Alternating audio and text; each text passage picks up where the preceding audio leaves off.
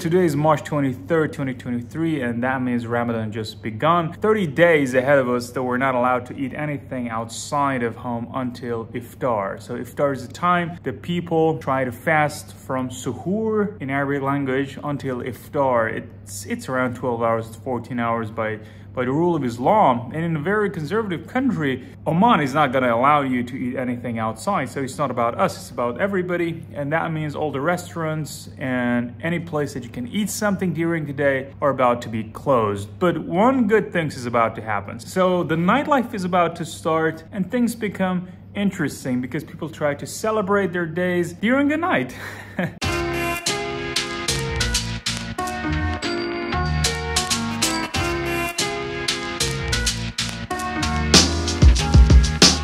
So you see the very first night of Ramadan and the club is closed. Like nobody's there. No bar, no club.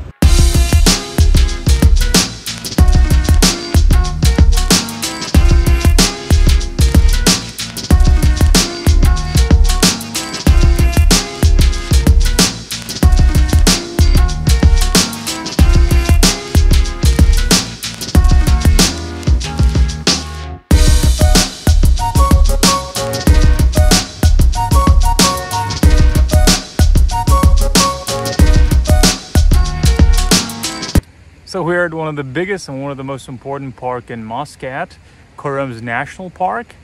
Uh, it is one of the most important ones because I think it's the oldest park yes. among the other parks. And it's huge, like you can just walk into it and spend time, but nobody's here because it's close to Iftar in Ramadan and people are actually eating right now in their home. But they will join definitely. And we're here to chill it's just cool that nobody's here. That's that's a point for itself.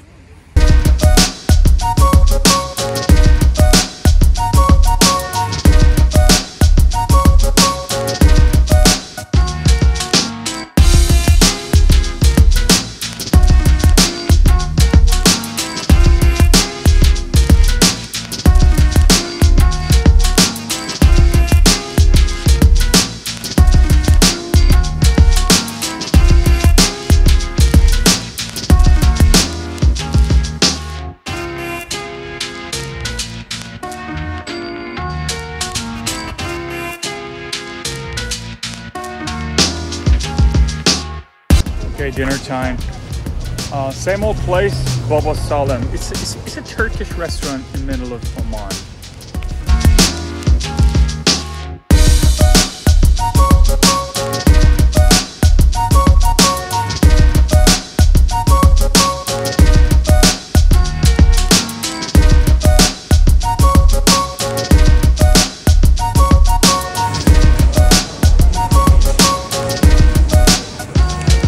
We've never tried one of these, but they look strange. We should test them. Yeah. Yeah, for Ramadan, a lot of special offer here in the mall as well. Cool, I like it. So I've never seen these weird looking bananas and we thought maybe we can try one in front of the camera. Look at these, unbelievable. Maybe just one of them. Let's just go for one. Okay, uh, that's good. Okay, cool.